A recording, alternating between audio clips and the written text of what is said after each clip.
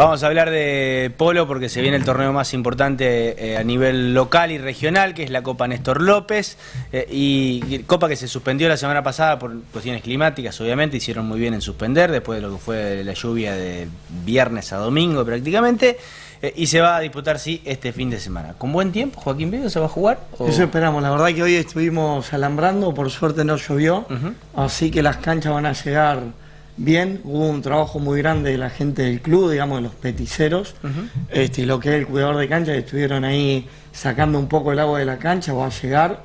Este, es muy importante porque la cancha, el suelo tiene que estar bien, porque es lo que hace que el caballo pueda frenar, volcar, y que el juego no sea peligroso y sea divertido, digamos. Así que va a llegar óptimo. Eh, en la última final te diste un porrazo por allá. Sí. ¿En, un, en un gol fue? Sí, fue un gol en una jugada contra el arco que por ahí la distancia que hay hasta el corral, este, bueno, hasta el alambrado ahí por ahí el caballo, de acuerdo al movimiento que hace, sale izquierda y derecha, que ahí no es que me caí, me tiré porque está el peligro de que podéis caer contra el alambrado y demás, que bueno, es cuestión del deporte, ¿no? Bueno, y este, este año arranca cuando el, viernes. Arranca el viernes, nosotros vamos a tener a la mañana, a las 9 de la mañana, está lo que es la presentación del torneo de prensa, que la verdad tenemos que decir este, que no han acompañado muchos sponsors, fueron unos 40.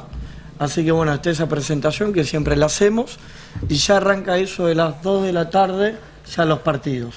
Va a ser viernes, sábado y domingo. Eh, ¿Y cuántos equipos? En esta oportunidad hay seis equipos. Seis equipos. Y tenemos, digamos, va a venir un árbitro de la Asociación Argentina, especialmente nos va, a, nos va a acompañar ha cambiado lo que es la comisión de polo. Sí. Ahora hay un nuevo presidente que es un jugador actual que tiene 10 goles, que es Eduardo Novillo. Y la verdad es que se está dando mucha importancia al polo del interior. Nos están acompañando. Así que la verdad que, que estamos muy contentos porque va a haber más torneos de este estilo. Nosotros tenemos dos grandes jugadores que van a venir ahora. Uno que es Lucas James, otro que es Nachi que nos vuelve a acompañar. Sí, estuvo el año pasado ya. Exactamente. Y muchos jugadores, 6, 5, 4 goles, la verdad que va a estar muy reñido el torneo, muy bueno. Eh, yo tengo para repasar acá Río de Janeiro, el Carmen, la Estela Jockey, eh, C9 Polo Club, San Silvano. Y, hay un equipo más que es el Pilar. La verdad que es un torneo bastante federal, como siempre decimos. Tenés equipo de corriente, tenés jugadores de Rosario, de Córdoba, viene un jugador este que va a jugar en San Silvano que viene de Montevideo. la verdad que va a estar muy lindo y bueno, vienen estos monstruos que da gusto verlos jugar, que probablemente traigan todos caballos de Buenos Aires, que están probando. Así que creo que se va a ver un muy lindo torneo. Eh, Río de Janeiro tiene 15 de handicap, eh, el Carmen 18. Eh, la hay uno... 16 y después mm, después hay de 10 de 8, varios, hay, en esta oportunidad hay varios de 8, hay dos modalidades. Está la de handicap, que probablemente van a ir a competir los que menos handicap tienen. Y la modalidad abierta, no importa cuántos goles tengan. O sea, no, no se da goles a favor. O sea, que el equipo de 18 que juega contra uno de 16 es a morir. Y la verdad que se hacen partidos muy lindos porque ¿cómo se logra tener más goles de handicap? Ganando torneos. Entonces, si vos tenés 5 goles y querés llegar a tener 7 y te están midiendo contra Nachi Ege y te dan ganas de jugar un poco más. Es como en el fútbol tener la oportunidad de jugar contra un jugador de primera división. Claro. Y te da la posibilidad de la ascenso. Exacto. Bueno, eh, ¿qué, otra cosa va a haber? Porque el, sábado pasado, por ejemplo, a las 5 de la tarde va a haber eh, Acá para chicos. Primero, siempre lo que intentamos hacer es un programa en familia. A nosotros nos interesa realmente que sea un evento para la provincia de Santa Fe. Entonces lo que hacemos primero va a haber peloteros, va a haber para los chicos se les va a entregar, digamos, para que puedan merendar, que los padres puedan estar tranquilos. Siempre nos acompañan muchas empresas que va a haber degustación de bebidas, también de comida.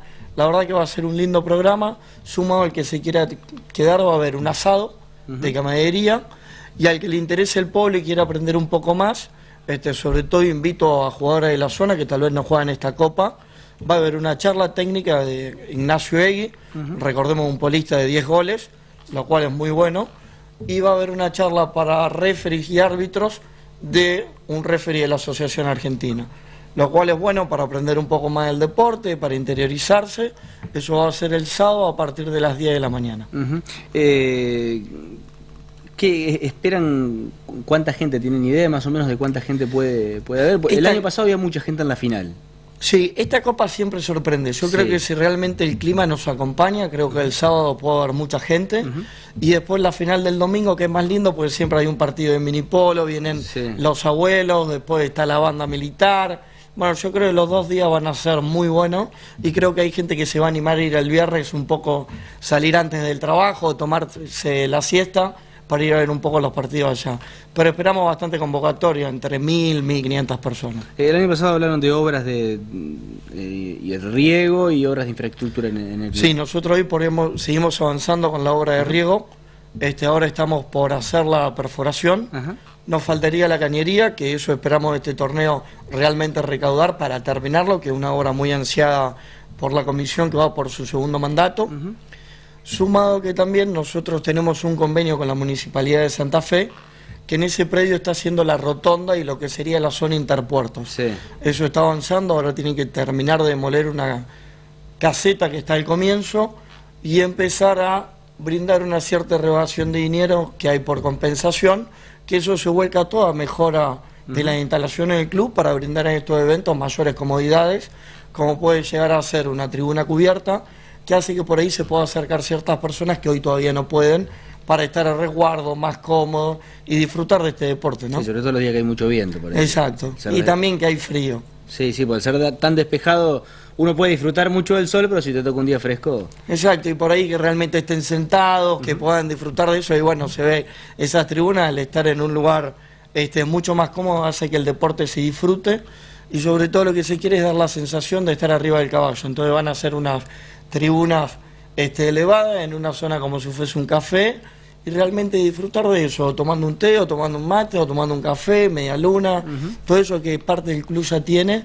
y bueno, estamos con esa ansias de empezar ese proyecto. ¿no? Eh, ¿Cuántos equipos hay en Santa Fe o cuántos, no sé si... si Yo te diría que es más de jugadores. más de, o sea, eh, ¿qué es lo que se hace? De acuerdo al torneo y las modalidades y qué handicaps tiene el torneo. Ahí se va armando. Exacto, vos conformás tu equipo.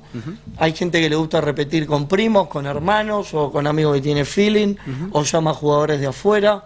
Pero en general hoy estamos hablando que en la zona debe haber unos cerca de 70 jugadores y hoy que están jugando en el club son más o menos unos 35 40. ¿Y hay más viejos que nuevos o, hay más con experiencia? Ahora te digo que nosotros tenemos una Copa Veterano que hay varios viejos ahí que realmente llegan a cuatro equipos.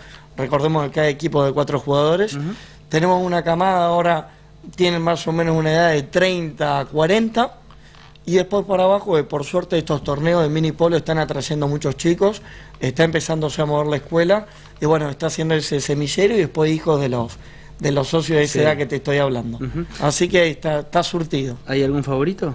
¿O tenés vos algún favorito para, este Y yo creo que los favoritos son siempre esos equipos de goles. Creo que el Carmen es un favorito por todos los torneos que ha ganado, porque viene consecutivamente y creo que trae muy buenos jugadores ha tenido un cambio, o sea, Marcos Vigo no juega en esta formación, que siempre estuvo de los comienzos del Carmen, lo reemplaza a Agustín Colombetti, Marcos por una lesión que tuvo en la cadera no pudo jugar, que bueno, es un cambio que va a sorprender, hay que ver cómo se entienden, pero creo que ese equipo está reforzado y es firme candidato.